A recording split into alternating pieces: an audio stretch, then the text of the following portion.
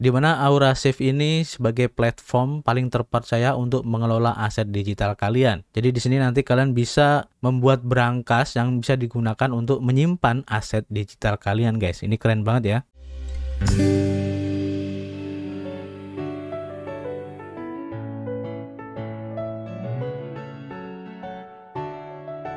Yo, what's up guys? Ketemu lagi dengan kita di sini masih di Indo James Crypto Channel tempat nongkrong kalian ngebahas seputar kripto. Masih bersama gue Arif di sini, youtuber receh yang sosokan ngerti tentang cryptocurrency. Terima kasih buat teman-teman semua yang sudah gabung dan subrek channel ini sehingga kami semakin bersemangat untuk memberikan informasi terbaru dan bermanfaat khususnya di seputar proyek-proyek kripto. Kami ingatkan di sini kami bukanlah financial advice ataupun penasihat keuangan, jadi apa pun yang kami sampaikan dalam video ini adalah murni dari hasil riset kami sendiri. Tidak ada ajakan untuk membeli ataupun berinvestasi di proyek ini ya guys.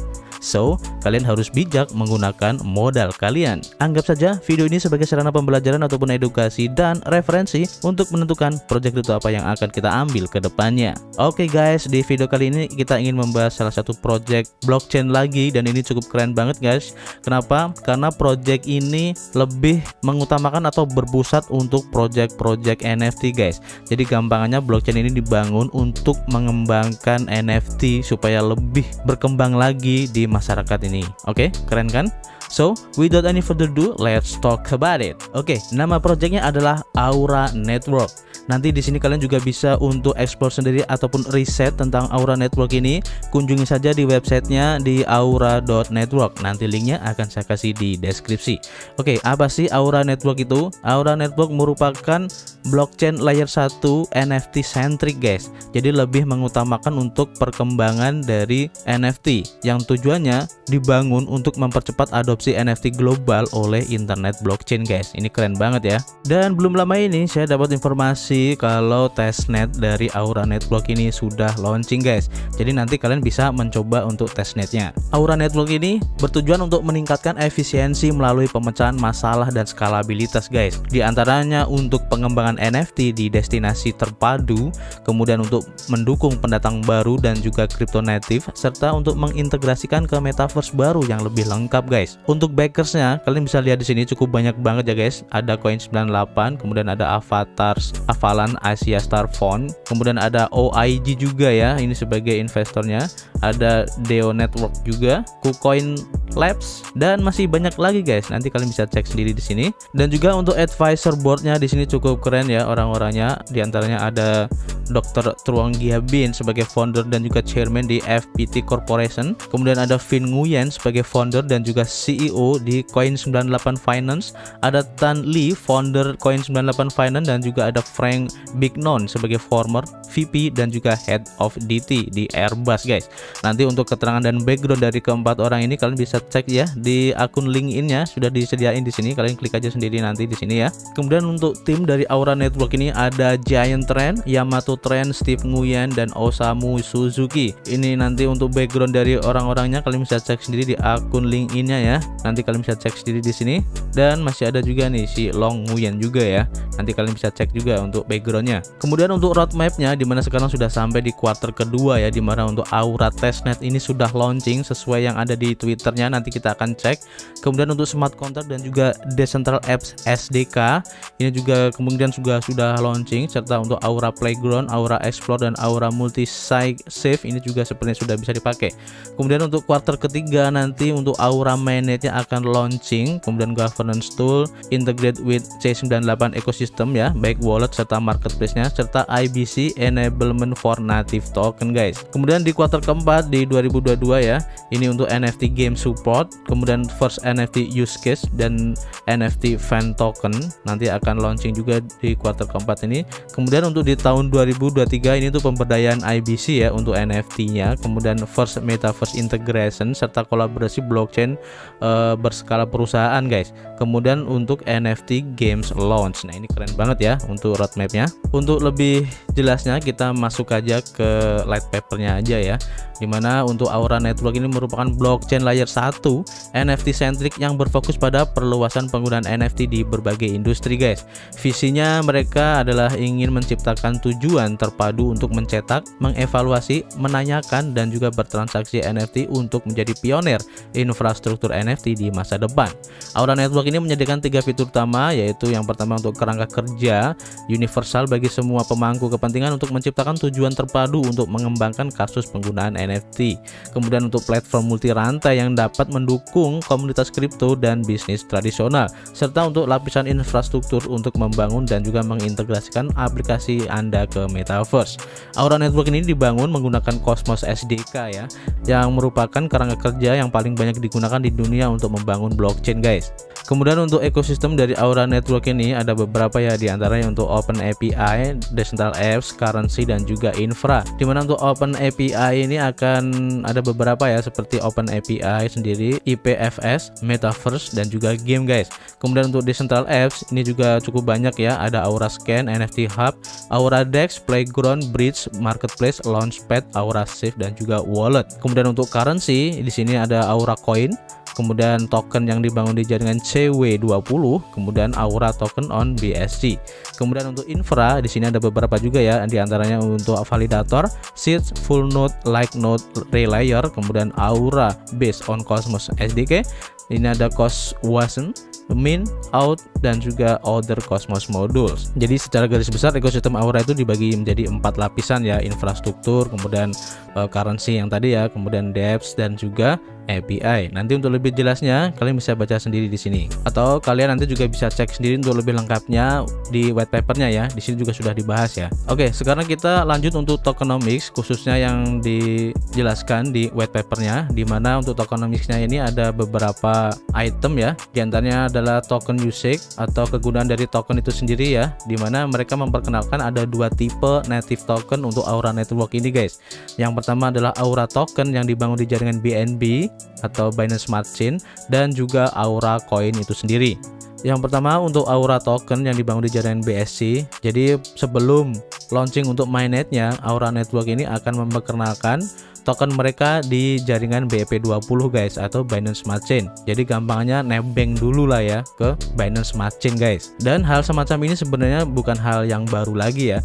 Bahkan BNB sendiri atau koin BNB dulunya itu sebenarnya juga nebeng ya ke jaringan Ethereum guys. Nah, setelah mereka meluncurkan mainnet mereka sendiri barulah mereka beralih ke jaringan Binance Smart Chain itu sendiri guys. Token ini akan bertindak sebagai pengganti Aura Coin yang akan diperkenalkan nanti saat Aura main mainnet diluncurkan. Seperti token BNB 20 lainnya ya, token Aura dapat diperdagangkan secara bebas di pasar mata uang kripto dan juga Aura token ini akan membantu menyediakan likuiditas pada pertukaran terdesentralisasi yang kompatibel dengan BEP20 token dan pengguna bootstrap dari komunitas. Kemudian untuk Aura Coin itu sendiri, di mana Aura Coin ini merupakan mata uang asli ya ataupun currency dari platform blockchain Aura Network ini yang juga berkemampuan untuk digunakan sebagai perdagangan Aura token dan juga Aura Coin ini memiliki banyak utilitas lain guys, di antaranya untuk staking, di mana para pemegang Aura Coin ini dapat mendelegasikan koin mereka ke validator terpercaya untuk mendapatkan pendapatan komisi pasif dari jaringan atau reward kayak gitu ya. Kemudian untuk governing di mana untuk para pemegang Aura Coin ini dapat berpartisipasi dalam pemungutan suara atau voting untuk pembaruan perangkat lunak atau keputusan penting lainnya tentang bagaimana Aura ini harus dikembangkan ke depannya guys. Kemudian untuk transaction fee di mana Aura Coin digunakan untuk membayar biaya transaksi serta untuk exchange dan juga swap guys. Di mana Aura Coin ini dapat ditukar ataupun di swap di pasar kripto guys. Untuk tokenomics lebih lengkapnya nanti kalian bisa baca sendiri di white papernya ya, baik dari alokasi tokennya ataupun juga token distribusi ya dari ekosistem growthnya ya ada airdrop kemudian community pool bug bounty dan masih banyak lagi nanti kalian bisa baca sendiri dan kalian pelajarin di sini. Aura Network ini juga mempunyai uh, explore-nya sendiri ya seperti layaknya BSC scan kayak gitu.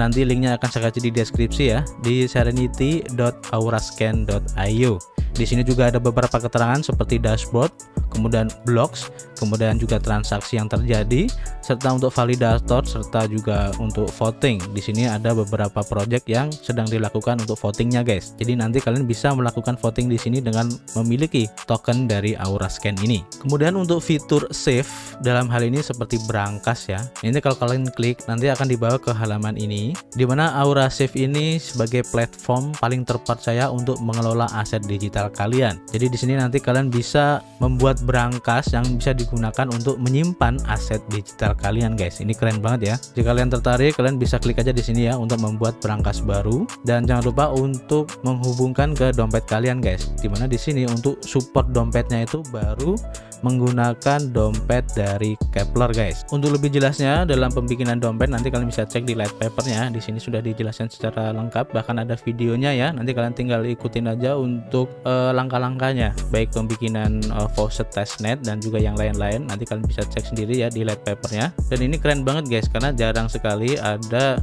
light paper semacam ini di mana menyertakan video untuk tutorialnya. Ini keren banget. Jadi ini akan sangat membantu banget buat teman-teman yang masih bingung ya dalam mengaplikasikan Aura Network ini guys. Oke, selanjutnya untuk komunitas di mana sekarang itu sudah ada sekitar 9.320 followers dan menurut saya ini cukup besar banget ya di mana Aura Network ini merupakan layer 1 NFT centric blockchain platform guys yang dibangun untuk mempercepat adopsi NFT secara global oleh internet blockchain. Kemudian kalau cek di sini untuk testnetnya ini sudah launching pada tanggal 10 Mei kemarin. Nanti kalian bisa cek atau mencobanya ya ini linknya ya di insight.aura.network nanti linknya akan saya kasih di deskripsi. Kemudian beberapa informasi ataupun update terbaru dari Aura Network ini nanti kalian bisa baca sendiri ya. Baik AMA yang sudah dilakukan beberapa kali di sini. Dan ini cukup bagus ya untuk perkembangan dari Aura Network ini. Nanti kalian bisa scroll dan cek update-nya ya. Dan jangan lupa untuk follow twitternya ya agar kalian tidak ketinggalan update terbaru dari Aura Network ini guys. Kemudian untuk komunitas di telegramnya ya. Dan kalau kita lihat di sini masih sedikit banget sekitar 649 subscriber. Ini sangat sedikit menurut saya ya. Dan karena ini hanya news aja mungkin di sini tidak ada uh, diskusi yang terjadi. Atau mungkin biasanya ya dengan kalian untuk follow di Aura Network News Telegram ini biasanya akan diarahkan ke grup-grup tertentu guys. Biasanya uh, akan diarahkan ke grup Telegram diskusi atau yang lain. Biasanya seperti itu. Nanti kalian follow aja untuk bisa lebih jelas dan lebih paham untuk komunitas di Telegramnya guys. Nanti linknya akan saya kasih di deskripsi. Oke sekarang bagaimana caranya kita untuk bisa membeli tokennya? Dan di sini saya sudah mencari untuk bagaimana cara membelinya. Sayangnya saya masih belum tahu atau memang belum launching ya. Kalau kita cek di coin market cap itu masih belum ada guys. Seperti yang bisa kalian lihat di sini, Aura Network belum ada. Kalau kita lihat di sini ada Aura Finance, ini beda project ya guys. Jadi ini bukan Aura Network. Dan saya juga mencari untuk smart contractnya, khususnya di white papernya di sini pun nggak ada guys. Jadi nanti kalau kalian menemukan smart contract dari Aura Network ini, kalian share aja di kolom komentar sehingga nanti kalian bisa membeli untuk tokennya. Karena tokennya dibangun di jaringan Binance Smart Chain, maka kalian bisa membelinya melalui Pancake Swap guys. Jadi untuk sementara ya, kita sabar dulu, kita tunggu aja untuk update terbaru gimana caranya kita bisa membeli untuk token auranya. Karena menurut saya ini memang masih belum launching untuk tokennya jadi kita masih belum bisa membelinya maka dari itu kalian follow aja ya semua media sosialnya jadi agar kalian tidak ketinggalan untuk info terbaru dari update Aura Network ini guys jadi terima kasih telah menonton video ini sampai selesai dan kami harapkan video ataupun informasi yang kita sampaikan hari ini bisa bermanfaat buat teman-teman semua kami ingatkan kembali jika kalian ingin melakukan investasi di mana pun dan apa pun, jangan lupa untuk selalu melakukan riset mandiri kalian.